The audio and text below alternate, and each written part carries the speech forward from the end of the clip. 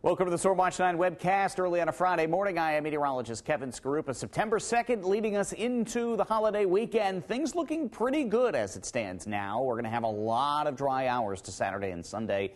We just can't rule out a pop-up thunder shower tomorrow afternoon or a stray thunderstorm around on Sunday. Notice on the satellite radar picture, we do have some high clouds across the area this morning, but blending it in with the sunshine, completing the dry work week after all the wind and rain from Irene on Sunday.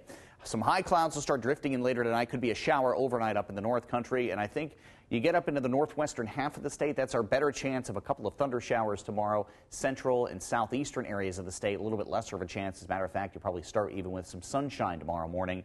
Looks like we're going to add some humidity. Dew points will get back into the 60s, and that means some fairly efficient rain producers if one does develop. We'll put the chance tomorrow at around 30%. Best chances will be up north, while in central and southern areas, a lot lesser of a chance tomorrow afternoon. As a matter of fact, you may go all day dry, and there will be a lot of locations that don't even see thunder showers tomorrow. A pop up thunderstorm is certainly a possibility on Sunday, but again, a similar 30% chance.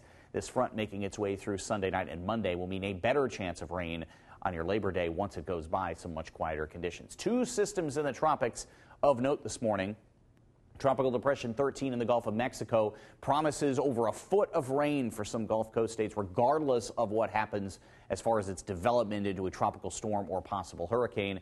is expected to be the next named storm in Lee. Then you have Katia, which is out here in the central Atlantic. Track from this, according to the Hurricane Center, continues to send this generally to the west northwest and strengthening possibly to a category two or three hurricane by the time we get toward the middle of next week. So, as far as the here and the now is concerned, today we are looking at temperatures in the 70s once again, blending the sunshine with the clouds at another fairly comfortable afternoon. We'll be adding the warmth and humidity over the course of the weekend, and that chance of a pop up shower or storm through Sunday, better chances on Monday.